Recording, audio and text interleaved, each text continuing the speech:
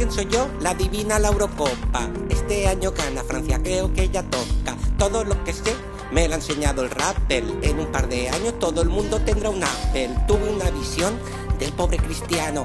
No marcaba goles ni siquiera con la mano. Es como si vas al banco y no te dan un crédito. Decir que fallara el Ronaldo ya no tiene mérito. En cambio con el Griezmann lo tuve clarinete. El cabacho es más listo que el libro gordo de Petete.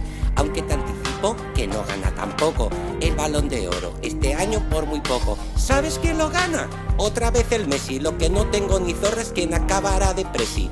En lugar de pitos tirarán bragas a pique. En la próxima Dixven saldrá el Echenique. Yo ya lo predije, ya lo adiviné que este año la Eurocopa iba a ser un paripé.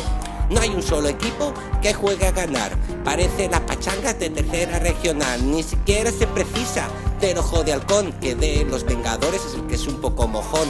Todos los goles llegan al final del partido, como buscando cacho cuando ya cierran la disco.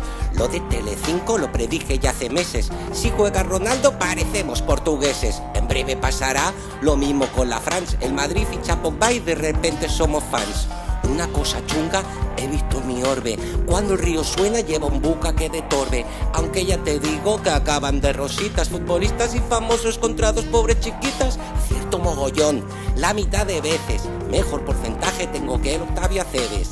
Dices que parezco, que soy un poco chola. Partido velas negras, me enseñó la bruja Lola.